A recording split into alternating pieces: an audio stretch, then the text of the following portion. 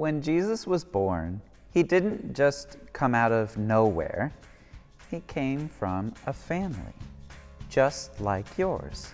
In fact, that's what we will be looking at today in the Bible, where we read a list of names of where Jesus' family came from.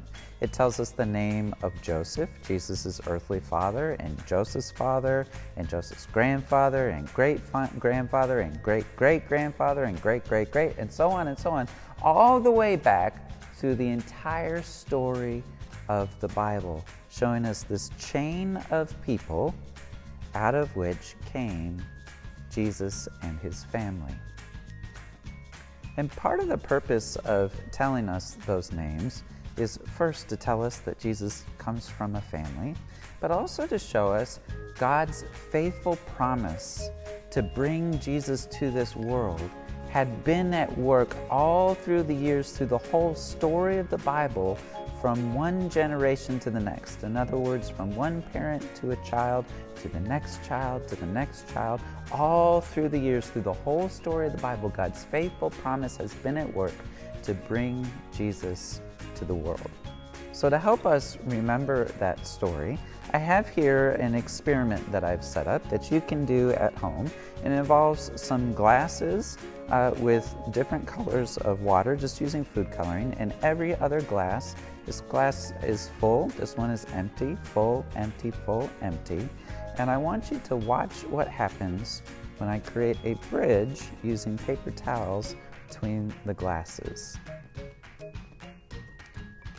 How the water will actually begin to travel from one cup to another and make a kind of rainbow bridge. Just like God is faithful and at work in our lives, and it was at work across the years to bring Jesus to this world, God is at work in your family and in where you come from, and God is at work taking care of you in whatever way you need. So let's watch for a while and see what happens.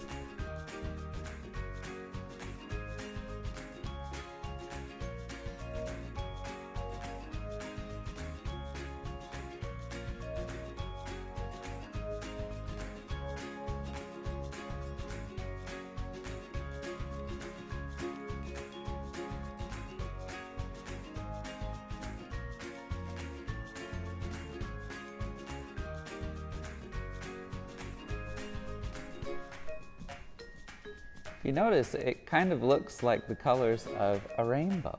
And the glasses that used to be empty have now risen up to be full at the same level as all the other glasses. That's because of something called capillary action, where the paper towel uh, works almost like a straw, sucking the water up all the way through. And because of that, each of the glasses has become full at the same level.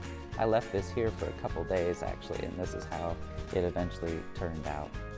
So this is kind of a cool experiment you can try at home, and it's a reminder to us of how God's faithful promises were at work from one generation to the next, to the next, to the next, to the next, all the way until God brought Jesus into the world.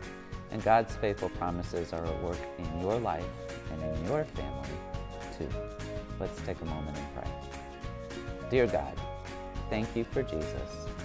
Thank you for his family that is just like ours. Thank you for your faithful promises, for the colors of the rainbow that remind us of your promises.